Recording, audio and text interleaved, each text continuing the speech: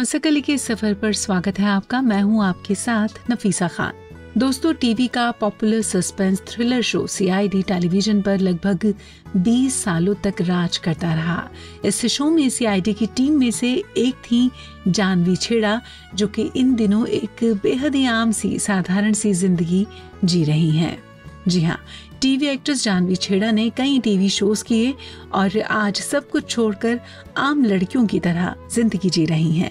उनतीस फरवरी को इनका बर्थडे था, वक्त तो काफ़ी बीत गया वैसे इनके बर्थडे को, लेकिन फिर भी आज इनकी बात कर लेना ज़रूरी है क्योंकि ये वो चेहरा है जिनको अक्सर लोग ढूंढते रहते हैं, इनके बारे में जानना चाहते हैं तो फिर देर किस बात की, चलिए आज जानते हैं इनकी ज़िंदगी से जुड़ी कुछ खास बातें साल उन्नीस सौ अठानवे में सोनी चैनल पर क्राइम सस्पेंस और थ्रिलर पर बेस्ड एक शो शुरू हुआ, जिसका नाम था सीआईडी ये शो इतना पॉपुलर हुआ कि टीवी पर लगभग 20 सालों तक चला और टीआरपी भी इसकी काफ़ी ज़्यादा अच्छी थी। इस शो में सीआईडी की पूरी टीम होती है और उस टीम में एक्ट्रेस जानवी छेड़ा भी थी, जो इंस्पेक्टर श्रेया का रोल प्ले कर रही थी।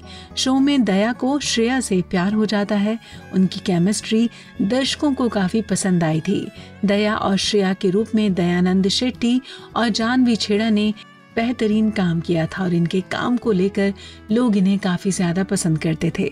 बहरहाल जानवी छेड़ा इस साल लगभग 40 साल की हो गई हैं। उम्र के इस पड़ाव पर वो टीवी से दूर अपनी फैमिली के साथ खूबसूरत वक्त बिता रही हैं। उन्होंने निशांत गोपालिया से साल 2011 में शादी की थी।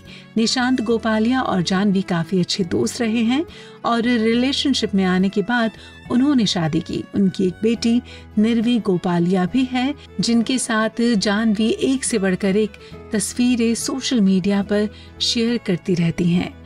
जानवी छेड़ा को लगभग ढाई लाख लोग इंस्टाग्राम पर फॉलो करते हैं टीवी के दौर में उन्होंने कई सारे डेली सोप्स भी किए हैं, लेकिन अब इंडस्ट्री से वो बिल्कुल दूर हो गई हैं। सीआईडी की कास्ट से जानवी छेड़ा अभी भी मिलती हैं और अक्सर ये गैंग रेस्टोरेंट या किसी दूसरी जगह पर हैंग आउट करते मिल जाते हैं सीआईडी की कुछ कास्ट से जानवी की अच्छी खासी दोस्ती भी है जानवी छेड़ा ने सीआईडी के अलावा अदालत माई लॉस्ट होम, बात हमारी पक्की है, बालिका वधु, छूना है आसमान, और तेरा मुझसे है पहले का नाता जैसे शोज़ कर रखे हैं, और इनमें उन्हें काफ़ी ज़्यादा पसंद भी किया गया। वैसे जानवी छेड़ा से ये खास मुलाकात, यानी कि उनके बारे में ये जो खास वीडियो है, आपको कैसी लगी? हमें कमेंट बॉक्स में लिखकर ज़रूर बताएँ।